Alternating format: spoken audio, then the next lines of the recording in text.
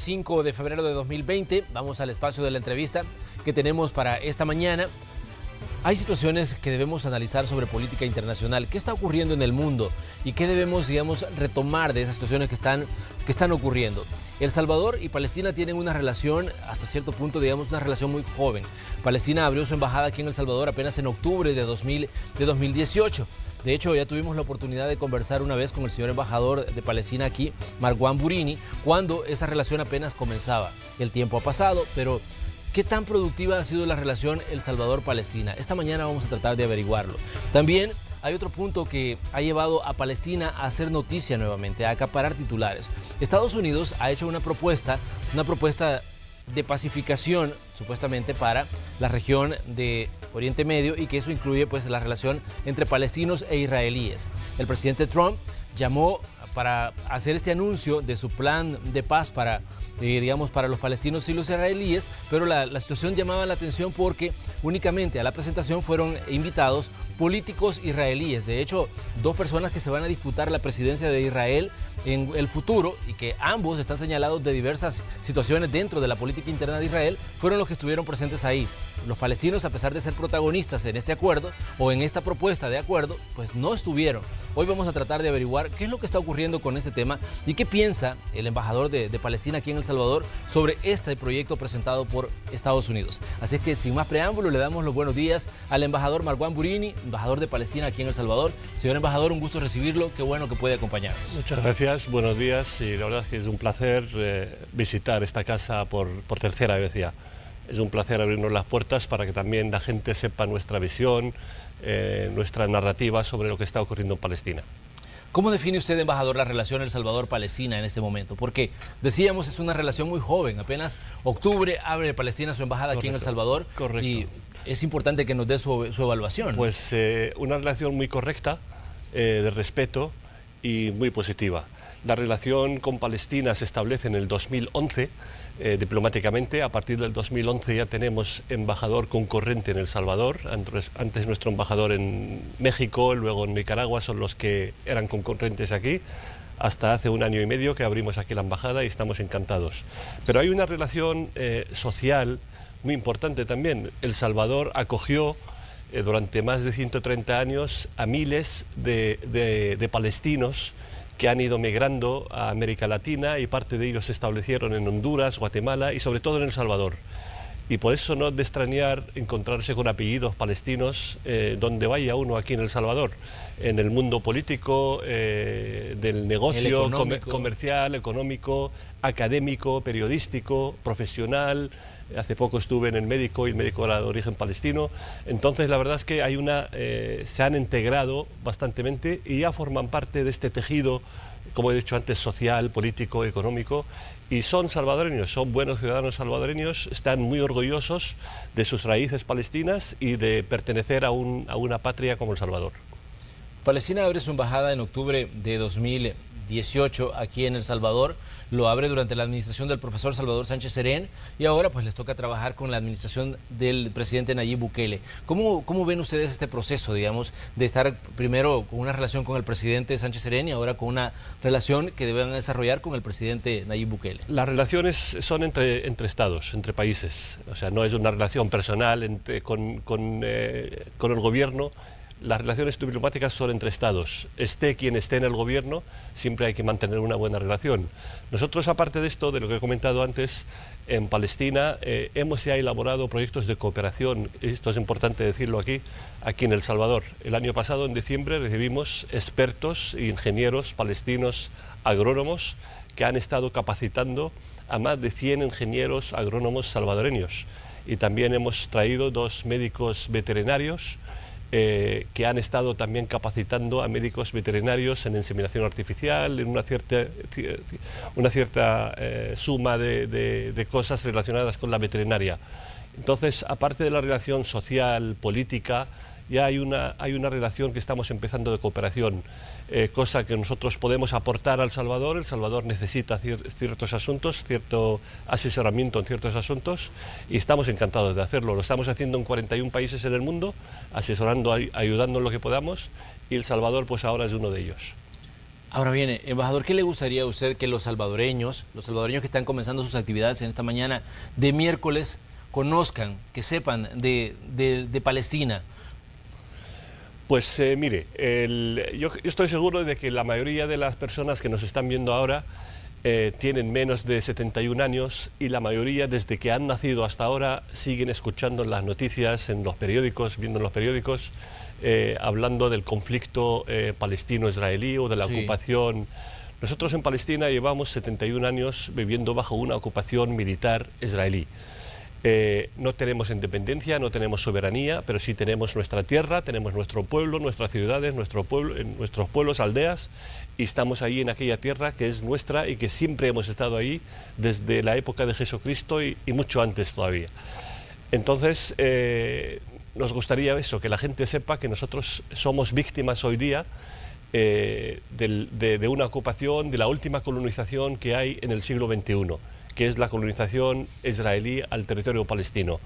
Eh, antes, hace la semana pasada, el 28 de, enero, el presidente Trump, acompañado del primer ministro israelí Netanyahu, presentan su visión, que no es ninguna iniciativa de paz, ni ningún proyecto de paz, ni de pacificación, ninguna solución, eh, presentan su, su visión del conflicto, una visión de 181 páginas, donde se olvidan de la identidad del pueblo palestino, se, olvidan del derecho nacional del pueblo palestino a tener un Estado palestino soberano e independiente. Yo no puedo aceptar un Estado palestino, no podemos aceptar un Estado palestino eh, sin soberanía de nuestro, nuestro cielo sin soberanía sobre los, recursos naturales nuestros, sin tener el control de los accesos de las fronteras palestinas. O sea, las fronteras estarían controladas por el ejército israelí, las calles nuestras, las carreteras estarían controladas por el ejército israelí. Se nos impone, se nos obliga a aceptar eh, más de 700.000 colonos ilegales, según el derecho internacional y según las resoluciones de la ONU, a vivir dentro de Cisjordania, dentro del territorio palestino, palestino ocupado y se nos, se nos quiere vender o se ha querido vender esta, esta visión eh, como una solución. Esto no es una solución, esto la verdad es que es un, es un insulto a la dignidad humana. ¿no?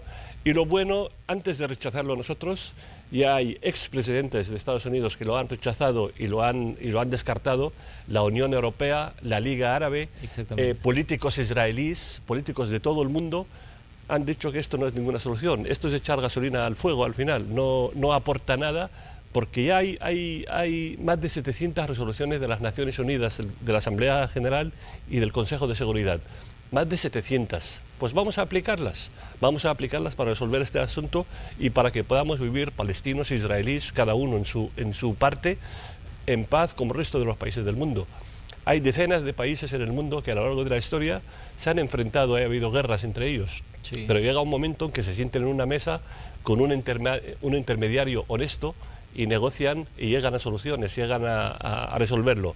Nosotros lamentablemente hasta hoy, después de 70 años, no hemos encontrado este socio porque eh, Estados Unidos pretende ser eh, esta parte intermediaria, pero no es honesta y no lo está haciendo bien y queremos que las Naciones Unidas, el, cuarteto, que es un grupo de, instituciones importantes del mundo, intervengan para solucionar esto. Pero ¿cómo, ¿cómo, digamos, evalúa usted la decisión del presidente Trump? Porque cada presidente de Estados Unidos ha hecho sus propuestas para pacificar o para acabar con el conflicto palestino-israelí. Lo vimos que Bill Clinton quizás fue el que tuvo mayor, mayor auge a nivel mediático cuando reunió a el ya fallecido, fallecido Yasser Arafat y, junto al, al, líder de ese momento de Israel y los, los llevó a una, a una reunión donde hubo fotografías, donde hubo una imagen de un proceso de pacificación. Luego pues llega Barack Obama al gobierno, las administraciones de los presidentes Bush, pero digamos, ¿cómo, ¿cómo comparan ustedes lo que está haciendo el presidente Trump con lo que han hecho otros presidentes de Estados Unidos en cuanto al intento o a, digamos, a sus ideas de cómo pacificar esta parte del mundo? Eh, gracias por la pregunta. El, presidente Clinton en 1993 se firman en los jardines de la Casa Blanca el acuerdo de paz, los acuerdos de Oslo, llamados los acuerdos de Oslo, entre Yasser Arafat por un lado y Isaac Rabin por otro. Estos acuerdos de paz, los acuerdos de, Oslo, decían que en cinco años, están por ahí los textos en Internet y se pueden buscar, en cinco años habría un Estado palestino soberano, independiente, en los territorios de 1967. Palestina, fue ocupada en dos fases, 1948 y luego en 1967. Nosotros hemos aceptado una solución a este conflicto por las generaciones nuestras, por las generaciones de la región, de un Estado palestino en el 22% de la Palestina histórica, en menos de una cuarta parte. Y firmamos los acuerdos de Oslo en los jardines de la Casa Blanca basándonos en esto. Y los israelíes, Isaac Rabin en su momento, los firmó. Pero lamentablemente no han respetado lo firmado por ellos. Y cada vez que venía un, un presidente norteamericano nuevo quería sacar un proyecto nuevo. No queremos más proyectos, no queremos más palabras, más narrativas, queremos que se aplique el derecho internacional, queremos que se apliquen las resoluciones de la ONU, que hay muchas, como he dicho antes, y que se apliquen y que se solucione este conflicto. Israel tiene hoy día el 78% del territorio de la Palestina histórica. Y nosotros queremos tener un Estado palestino en Cisjordania, Gaza y Jerusalén, este como nuestro capital. Y, y, así lo reconoce todo el mundo, así nos reconoce El Salvador. Y así nos reconocen más de 180 países en el mundo en este territorio, Cisjordania, Gaza y Jerusalén, este como nuestro capital.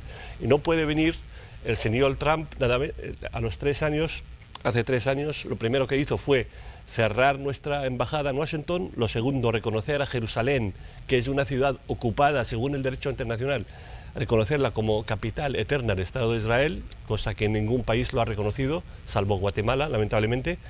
Eh, Después hacen una anexión a los altos del Golán, que son territorio sirio ocupado.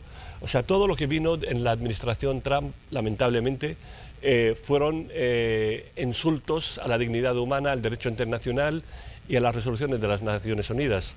Esto no puede ser. El plan presentado por el, por el gobierno del presidente Trump lo ha denominado el acuerdo del siglo, así lo, lo vendió él cuando lo anunció y decía él que lo que buscan es generar algún tipo de desarrollo económico que saque a la población palestina de la pobreza, pero obviamente esa es la visión que tiene Estados Unidos.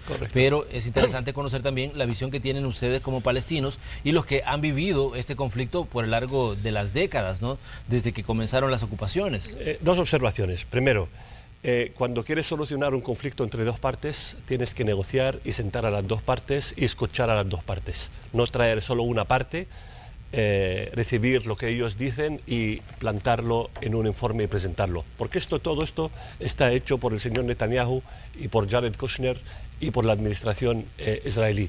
Nosotros allí no intervinimos en nada, ni se nos ha consultado nada. Eso es lo primero. Y sobre la solución económica, perdone, eh, nosotros tenemos un problema político, un problema de colonización. No es un problema económico lo que hay en Palestina, no es un problema religioso. Nosotros los palestinos, que somos eh, cristianos, musulmanes y judíos, no tenemos en absoluto nada contra el pueblo judío. Al revés, eh, hemos acogido a los judíos cuando eran perseguidos en Europa o en otros sitios, todos iban a los países árabes, al norte de África, a Palestina, a Siria, al Líbano. Somos un pueblo acogedor. Entonces, plantar una solución económica a un conflicto político de colonización que tiene más de 70 años es el top de la ignorancia, la verdad. Nosotros, gracias a Dios, no necesitamos ayuda de nadie, no necesitamos los 50.000 millones que nos han prometido, ni ningún dólar de Estados Unidos.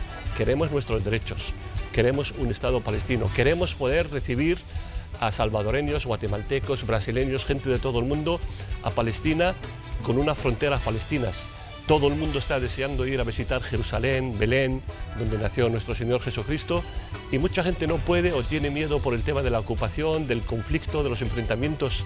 ¿Por qué? ¿Hasta cuándo vamos a seguir en esta situación? Pero ¿qué piensa usted, embajador, cuando Estados Unidos dice, a cambio de lo que estamos proponiendo, los palestinos tienen que reconocer la soberanía israelí sobre los territorios ocupados? La hemos reconocido, la hemos reconocido varias veces y cuando firmamos los acuerdos de Oslo en el 1993 en la Casa Blanca están reconocidos las fronteras de Israel. A mí me gustaría saber cuáles son las fronteras que nos reconocen a nosotros. El Estado de Israel es el único país del mundo que no tiene unas fronteras eh, limitadas, no tiene ningunas. Usted le puede preguntar a cualquier diplomático israelí en cualquier lugar del mundo cuáles son las fronteras eh, de Israel y no le va a saber contestar. Sin embargo, le va a preguntar a cualquier eh, embajador de cualquier otro país y le va a decir, por el norte tenemos tal país y por el sur el otro y nuestra frontera está al río. Israel no. Israel siempre ha sido un país expansionista, ha ido ocupando terreno no solo de Palestina, ocupó también de Egipto, de Siria, del Líbano, de Jordania, eh, ha ido eh, expandiéndose con la excusa de la seguridad. Ahí el que necesita seguridad son los palestinos, o sea, Israel es la quinta potencia militar del mundo hoy día. ¿Qué seguridad van a necesitar eh, de un pueblo que está bajo ocupación como el nuestro? Al final hay, un doble baremo de, de medir, lamentablemente, esta, esta cuestión, ¿no? Y se intenta tratar a la víctima y al verdugo de la misma manera, ¿no? Pero nosotros somos los que estamos bajo ocupación, estamos siendo las víctimas de los que fueron víctimas hace 70 años y lo reconocemos y lo respetamos, pero esto no puede seguir así. Y cualquier plan, cualquier planteamiento que se presenta para solucionar este conflicto tiene que contar con los palestinos y con sus derechos. Vamos a hacer una pequeña pausa comercial. Le recordamos a usted que conversamos hoy con Marwan Burini, él es el embajador de Palestina aquí en El Salvador. Regresamos enseguida.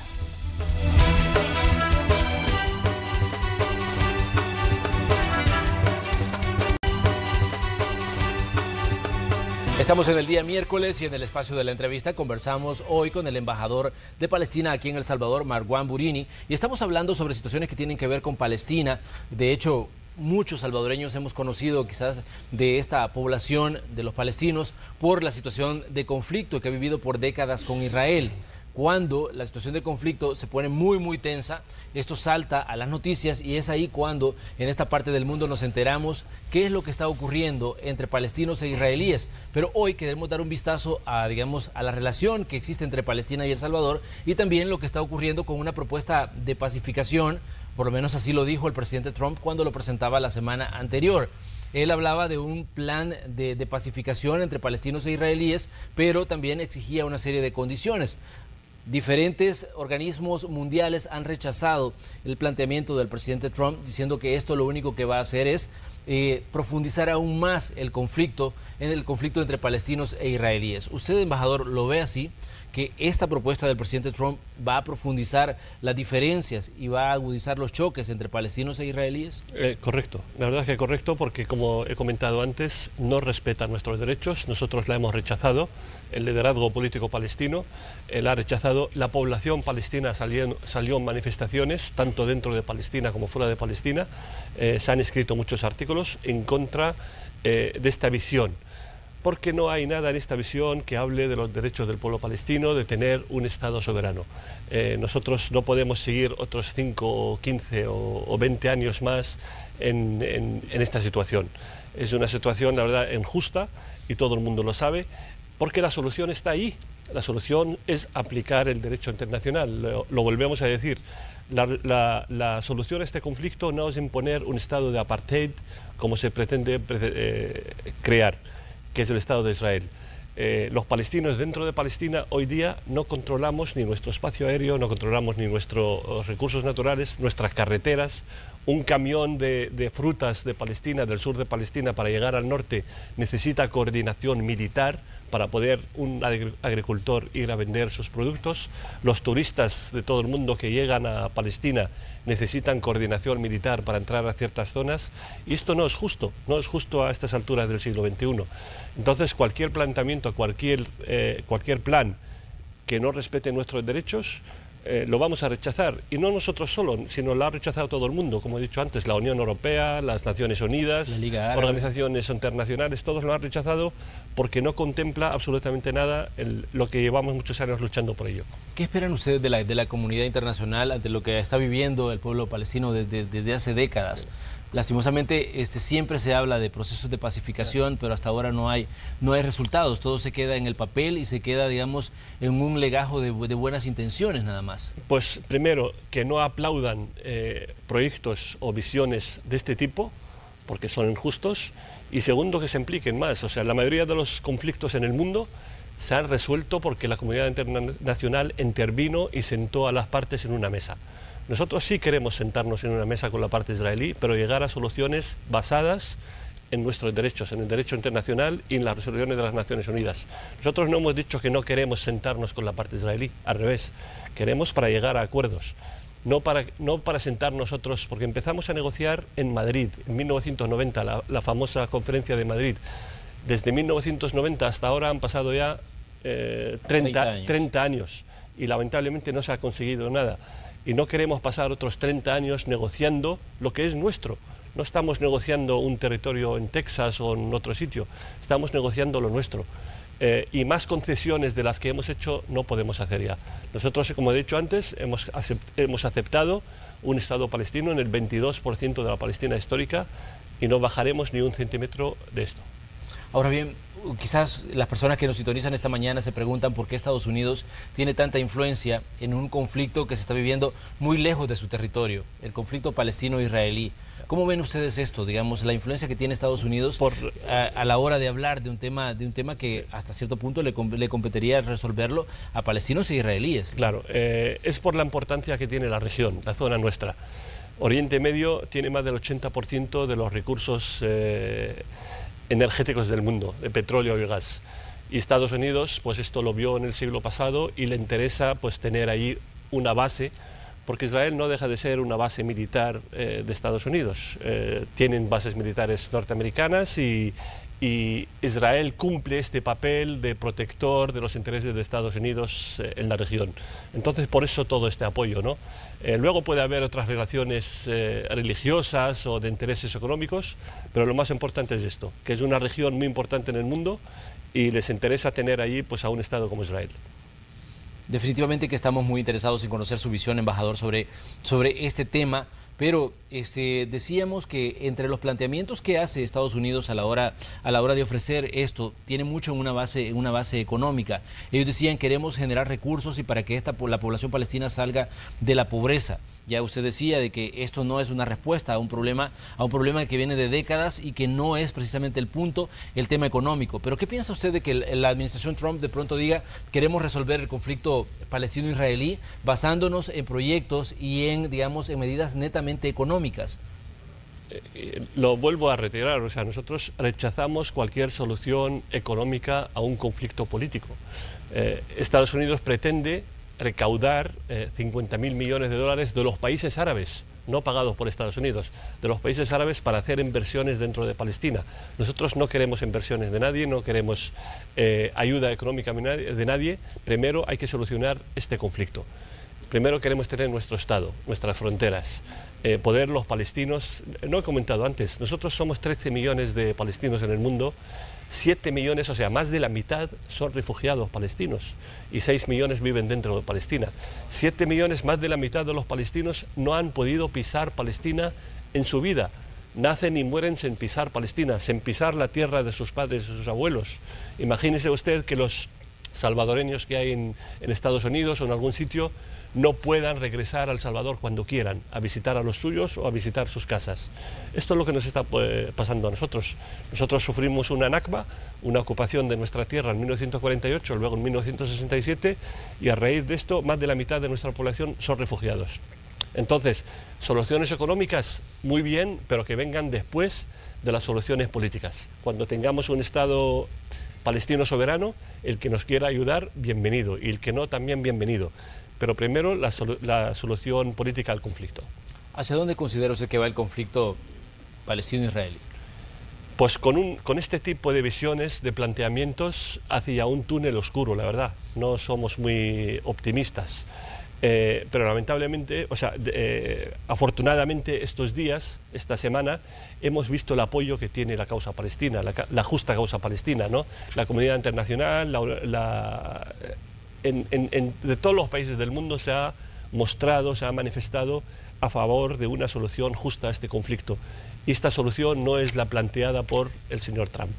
Ahora bien, cuando se anuncia este plan del presidente Trump para, solventar el conflicto entre palestinos e israelíes, hay una reacción dentro, dentro de Palestina e incluso rivales políticos se unen para eh, rechazar lo que, lo que estaba planteando el presidente Trump. Yo estaba leyendo algunos artículos que decía de que eh, incluso se han borrado las diferencias entre políticos palestinos para, eh, digamos, hacerle frente a lo que está proponiendo el presidente Trump. Correcto. Nosotros tenemos pluralidad política dentro de Palestina. Hay varios hay un espectro importante de partidos eh, políticos y de ideologías. Y es normal que haya enfrentamientos ideológicos entre los partidos. Esto ocurre en El Salvador, ocurre en Guatemala, ocurre en cualquier país del mundo. Y, pero cuando hay un peligro exterior, cuando hay un, un proyecto que pretende borrar la causa palestina, eliminar la causa palestina, eh, pues claro, es normal que todo el mundo se una y nos convertamos todos en una familia, ¿no? Y los palestinos todos estamos bajo este peligro, ¿no? De eliminar nuestra causa, implantando este tipo de visiones y de soluciones. Eh, y por eso nos hemos, y siempre estamos unidos. Es verdad que hay diferencias eh, ideológicas, como he dicho, diferencias de visión política a ciertos temas, pero el tema de Palestina, de, un, de la liberación de Palestina, de un Estado soberano, en eso estamos todos de acuerdo. ¿Qué piensa, embajador, cuando se anuncia este plan de pacificación para palestinos e israelíes en medio de una situación complicada para el presidente Trump en Estados Unidos? Porque justo la semana anterior se estaba hablando de juicio político en su contra y aparece esto que obviamente desvía la atención, la atención mediática a nivel mundial. Eso lo hemos dicho, esa es una distracción. El martes pasado, el día 28, el presidente Trump tenía un impeachment, un, un juicio político en Estados Unidos el primer ministro israelí tiene tres juicios pendientes por corrupción, tres, no uno.